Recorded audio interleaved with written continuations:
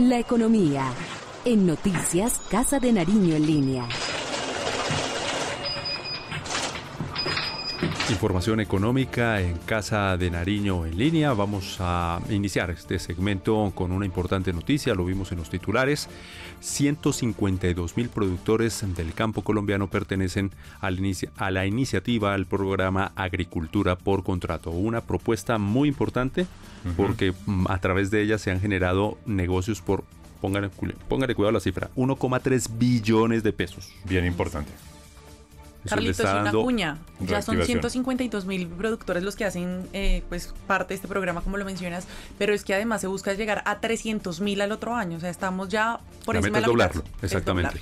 Productores y campesinos los beneficiados. Exacto. Y lo mejor de todo, sin intermediación, sin intermediarios. Liliana González nos presenta los avances de esta iniciativa del gobierno. Luego de dos años y medio del programa Agricultura por Contrato, estrategia del Gobierno Nacional que busca resolver problemas de comercialización agropecuaria, el Ministerio de Agricultura resaltó los beneficios que esta estrategia ha tenido con los campesinos y los pequeños productores del país. El programa ya llega a más de 152 mil productores a nivel nacional. Tiene más de 26 plataformas en el campo a un clic que nos han ayudado a que tecnológicamente el programa se desarrolle. Es importante mencionar que gracias a esta estrategia se han logrado comercializar productos como frutas, hortalizas, lácteos, arroz y maíz. Y se han ejecutado negocios por más de 1.3 billones de pesos hemos logrado llegar prácticamente a todos los departamentos del país. Pero hay que destacar a Santander, Cundinamarca, el Valle del Cauca, Antioquia, Atlántico, como algunos de los departamentos líderes en la colocación de negocios. Gracias al éxito que ha tenido este programa, el Gobierno Nacional espera beneficiar a más de 230 mil productores para que puedan seguir llevando bienestar y riqueza al campo colombiano. En otras noticias económicas hubo una reunión muy importante para saber cómo están las finanzas de nuestro país, puntualmente una reunión del Comité de Coordinación y Seguimiento al Sistema Financiero. ¿Cómo se encuentran nuestras finanzas? Nos lo cuenta en la siguiente nota Gerson Beltrán.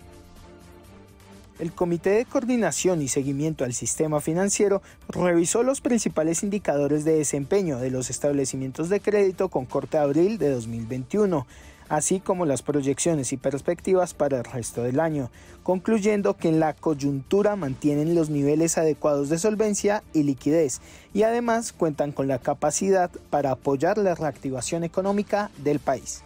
Dichos establecimientos tienen hoy la capacidad para apoyar la reactivación económica en forma muy activa.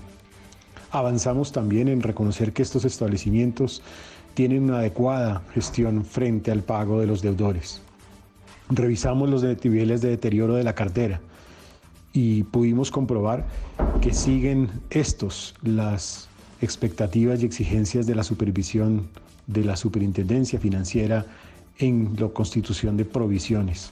El comité también destacó que el programa de acompañamiento a deudores PAD sigue apoyando el ajuste ordenado a la nueva realidad económica de los deudores, promoviendo la estabilización de sus buenos hábitos de pago. Podemos decir entonces que el sistema financiero muestra un compromiso adecuado de gestión de riesgos, de crédito de mercado y de liquidez en un escenario difícil.